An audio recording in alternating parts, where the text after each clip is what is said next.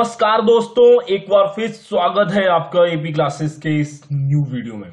दोस्तों UP TET 2018 exam खत्म हो चुका है आंसर सीट भी आ चुकी है, और उसके साथ साथ जैसे ही आंसर सीट आई, आपत्तियों की भरमार भी हो चुकी है, और बहुत सारे प्रश्नों पर अभ्यर्थियों ने अपने साक्ष्यों के साथ उन पर पीएनपी की मेल आईडी जो दी थी, उस पर आपत्तियाँ दर्ज कराई हैं। तो बहुत सारी आपत्तियाँ पहुँच चुकी हैं। अब बहुत सारे इसमें प्रश्न उठ रहे हैं कि किसका सही है, किसका गलत है, क्या है और कितने नंबर बढ़ेंगे, किसको फ़ायदा और किसको नुकसान होगा। मतलब कितने नंबर वाले सेफ़ हैं, कौन लोग अपने आप को सेफ़ मान के चले और कौन लोग शिक्षक भर्ती, आगामी जो शिक्षक शिक्षक भर्ती है, उसमें बैठेंगे और शिक्षक बनेंगे।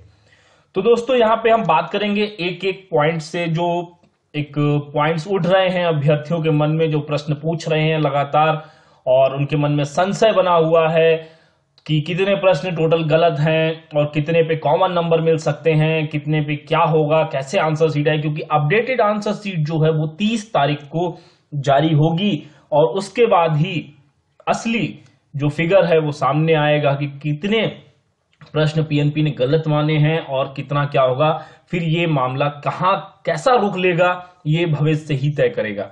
तो चलिए स्टार्ट करते हैं पहले प्रश्न से, जो पहला प्रश्न जो अभ्यर्थियों के मन में आ रहा है कि नंबर किसके बढ़ेंगे। बहुत से अभ्यर्थी पूछ रहे हैं कि, सर, हमने साक्ष्य नहीं भेज पाया तो हमारे ही नंबर नहीं बढ़ेंगे क्या? मतलब कि जिन लोगों ने साक्ष्य भेज दिया है, सिर्फ़ उनके ही नंबर बढ़ेंगे।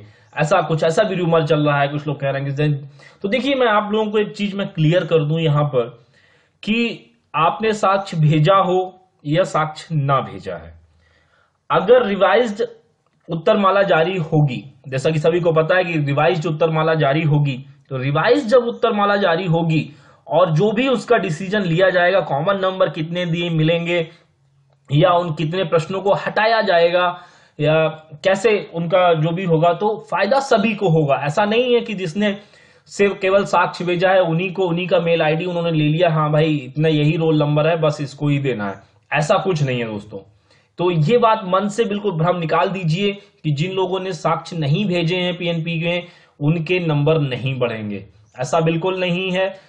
आपने साक्ष्य भेजा हो या न भेजा हो, लेकिन जो भी फैसला आएगा, वो सभी पर लागू होगा। तो नंबर जो है, वो सभी के बढ़ेंगे। पहले प्रश्न का जो उत्तर है, जो मैं अपने वीडियो के माध्यम से आप लोगों को दे रहा हूँ, वो ये है कि नंबर बढ़ेंगे तो सभी के बढ़ेंगे। कम होंगे तो भी सभी के कम होंगे, बढ़ेंगे तो भी सम मतलब जो भी फैसला लिया जाएगा उत्तरमाला पे, उन प्रश्नों पर वो सभी पर लागू होगा। अगला प्रश्न जो उठ रहा है, बहुत ही इंपॉर्टेंट प्रश्न जो अभ्यर्थियों को उठ रहा है कि कितने नंबर बढ़ सकते हैं। ये बहुत बड़ा प्रश्न है क्योंकि यहाँ पे बहुत सारे अभ्यर्थी ऐसे हैं जो बाउंड्री लाइन पे हैं। बाउंड्री लाइन पे मतलब कि 80 पे भी हैं मतलब S C S T OBC की बात करूँ तो 80 वाले 79 वाले और जनरल में अगर मैं बात करूँ तो 80 वाले, पचासी वाले, छियासी वाले, सतासी, अठासी, नवासी, ऐसे अभ्यर्थी भी हैं जो बहुत ही चिंतित हैं अपने भविष्य को लेके। किन्हीं कारणों से उनका पेपर जो भी कारण रहे हो, उनका नहीं हो पाया और वो जस्ट बाउंड्री लाइन पे हैं तो अब उनको बहुत ही चिंता है कि काश हमारे नंबर बढ़ जाए तो हम भी शिक्षक भर्ती परीक्षा में बैठ सकते हैं। जबकि उनकी तैयारी बहुत अच्छी है, लेकिन किसी कारणों बस बहुत सारे अभ्यर्थी हैं कह रहे हैं, सर कंफ्यूज हो गया, किसी ने कहा, सर, बोला, हम कहीं और लगाना चाह रहे थे, लेकिन कहीं और लग गया। तो ऐसे भी बहुत सारी गलतियाँ हुई हैं। तो देखिए, मैं आपको बता दूँ कि जो पीएनपी में जो लगभग जो साक्ष्य का जो भेजा गया है, वो बहुत सारे लोगों ने भेजे हैं, बीस भेजे हैं, किसी ने बाईस भेजे हैं, किसी ने तो पच्चीस तक भेज दिए हैं। लेकिन एक्चुअल फैक्ट जो निकल कर आ रहा है सामने एक्चुअल जो फैक्ट दोस्तों मैं बात कर रहा हूँ, वो जो प्रश्न है, वो केवल 11 से 12 हो रहे हैं। ऐसे प्रश्न हैं जो एक्चुअल जिनका साक्ष्य है और जो वास्तव में गलत हैं या जिनके एक से अधिक आंसर हैं, या उत्तर माला में जो प्रश्न पूछा गया था उसमें आंसर ही नहीं है। ऐसे जो प्रश्न हैं टोटल जो मिला के करीब 11 से 12 प्रश्न हो रहे हैं। ये है एग्जैक्ट फिगर अब कहने के लिए तो लोगों ने 25 तक भेज दिए हैं तो उसका कोई मतलब नहीं बनता देखिए दोस्तों। जो एक एनालिसिस रिपोर्ट आई है वो ये है कि 10 से 12 मतलब 11 से 12 मैक्सिमम 13 जा सकता है इससे ऊपर नहीं जाएगा। इतने नंबर जो हैं इतने प्रश्नों का जो है उन पर आपत्ति है। री, मतलब रीजनेबल आपत्ति जो है वो इतने नंबर पे है। तो अब लोगों ने यहाँ भी बात कर दिया कि सर जब 10 11 नंबर गलत हैं तो सभी के 10 10 11 11 बढ़ जाएँगे। मतलब अगर कोई जनरल में 80 पाया है तो वो पास हो जाएगा। देखिए दोस्तों, इसमें एक बहुत बड़ी एक एनालिसिस है। एनालिसिस ये है कि आपने भी देखी होगी, आपने भी उत्तर माला चेक की होगी और आपने ने बहुत सारे लोगों ने भी आपत्तियाँ भेजी होंगी। तो कुछ प्रश्न ऐसे हैं जिनके डबल आंसर्स हैं, जो पेपर में दिए गए। कुछ प्रश्न ऐसे हैं जो ऑप्शन है लेकिन उत्तर में नहीं है। एक प्रश्न आप लोग जो बता रहे हैं आउट ऑफ़ सिलेबस भी इसमें बता रहे हैं, जो वर्तमान राष्ट्रीय महिला आयोग के अध्यक्ष जो पूछा गया था।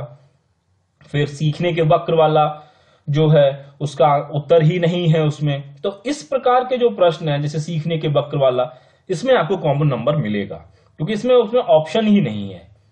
ठीक है? अब जिसमें एक से, या दो से है, उनपे भी, दो वाले ऑप्शन में भी कॉमन नंबर मिल सकता है। तो जो दो वाले ऑप्शन निकल के आ रहे हैं, वो तीन से चार आ रहे हैं, और और जो ये नहीं आ रहे हैं, उससे से आ रहे हैं।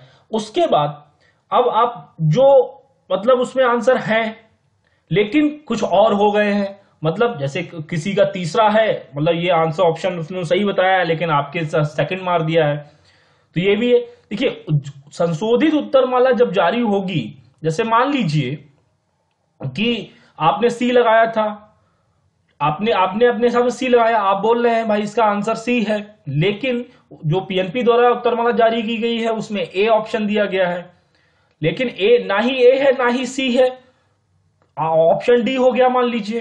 तो वहाँ पर तो कॉमन नंबर नहीं मिलेगा ना आपको। तो इस प्रकार से अगर देखा जाए तो ऐसे प्रश्नों की जो संख्या, जिन पर कॉमन नंबर मिल सकते हैं, वो उन 11 बारह में से कुछ ऐसे प्रश्न आ रहे हैं। लगभग, आप ये मान के चलिए, चार से पाँच नंबर जो हैं तीन भी हो सकता है, लेकिन मोस्टली तीन नहीं होगा। चार से पाँच इसीलिए मैं फोकस कर रहा हूँ, चार से पाँच नंबर पे इसीलिए बोल रहा हूँ कि जो चार से पाँच नंबर हैं, वो आपको कॉमन नंबर मिल सकते हैं। यहाँ पर ये जो क्लियर रिपोर्ट आ रही है, चार से पाँच नंबर जो है, वो कॉमन नंबर मिल सकते हैं। बाकी जो लोग दस, बारह, पंद्रह बोल रहे हैं, ऐसा नहीं होने वाला। और यहाँ पर रिज़ल्ट भी बहुत सारे चेंजेस होंगे। कहने का मतलब है कि जो अपने कुछ लोग अपने पचानवे मान रहे हैं जो वहाँ पर उनके नंबर घट बढ़ भी सकते हैं, ऐसा भी हो सकता है। तो एग्जैक्ट जो फिगर सामने आ रहा है, वो चार से पाँच नंबर का कॉमन नंबर का फिगर सामने आ रहा है। अब बात करते हैं कि किसको होगा फ़ायदा और किसको नुकसान। आप पूछेंगे, सर, नुकसान इसमें कैसा? नंबर तो सभी के बढ़ रहे हैं कॉमन नंबर तो इसमें नुकसान कैसा हो गया? तो मतलब बढ़ेंगे। देखिए दोस्तों, एक पॉइंट आप सोचिए कि जब नई उत्तर कुंजी जारी होगी तो अभी जो उत्तर कुंजी में आपके ऑप्शन सही लग रहे हैं, कुछ प्रश्न ऐसे होंगे जिनके ऑप्शन चेंज होंगे तो वहाँ पर आपके नंबर घट भी सकते हैं। घटने का सेंस इन द सेंस मेरे कहने का मतलब एक एनालिसिस से ले लेते हैं। मान लीजिए सपोज़ आपके 110 मार्क्स हैं। आपके जब 110 मार्क्स हैं, आपत्ति हुई है टोटल लगभग 11 से 12 प्रश्नों पर। मान लीजिए 12 प्रश्नों पर आपत्ति बिल्कुल सही पीएनपी मानती है कि हाँ 12 प्रश्नों पर आपत्ति हुई है। और उसमें से छह प्रश्न जो ऐसे हैं उनका वो आंसर बदलती है। ठीक है दोस्तों, और चार प्रश्न ऐसे हैं जिनका वो कॉमन नंबर दे देती है। तो अब आपके थे पचानवे आपके थे 110 नंबर। 110 में से आपके सात, जो छह सात नंबर थे, जो उसने आंसर बदल दिए, वो आपके कम हो गए। क्योंकि अभी दोस्तों आपका रिज़ल्ट जारी नहीं हुआ है, कॉपियाँ चेक हुई नहीं है अभी। ये जो प्रोसेस है, जो आप कॉमन नंबर की बात कर रहे हैं, ये एग्ज़ाम के बाद की बात कर रहे हैं। जैसा कि यूपी टेट 2017 में हुआ था, सबको कॉमन नंबर मिल गए थे, लेकिन वो बाद में मिले थे कॉपियाँ चेक होने के बाद रिज़ल्ट आउट होने के बाद। यहाँ पर अभी कॉपियाँ चेक नहीं हुई हैं रिज़ल्ट नहीं आया है तो यहाँ पर आपके नंबर घटबड़ भी सकते हैं। यहाँ पर ये मत सोचिए कि नंबर अगर बढ़ेंगे तो सभी मतलब बढ़ेंगे, आपको फ़ायदा ही होगा। नुकसान भी हो सकता है बहुत से लोगों को। तो कहने का मतलब ये है कि अगर आपके 110 नंबर है और उसमें से सात से आठ प्रश्न जो है, उसने उसके ऑप्शंस बदल दिए। सात से आठ प्रश्न के ऑप्शन बदल दिए तो आपके वो गलत हो गए। मतलब 110 में से आठ नंबर आपके चले गए। तो 110 में से जब आपके आठ नंबर चले गए तो बचे आपके 102 नंबर जब आपके 102 नंबर बचे हैं, और चार नंबर कॉमन दे दिए तो 102 और चार को कर दिया तो कितने हो गए? 106 नंबर अभी आपके पहले कितने आ रहे थे? 110 नंबर अब आपके कितने आ रहे हैं? 106 नंबर आपको चार प्रश्नों का घाटा हो गया। लेकिन हालाँकि इसका कोई फ़र्क नहीं पड़ेगा।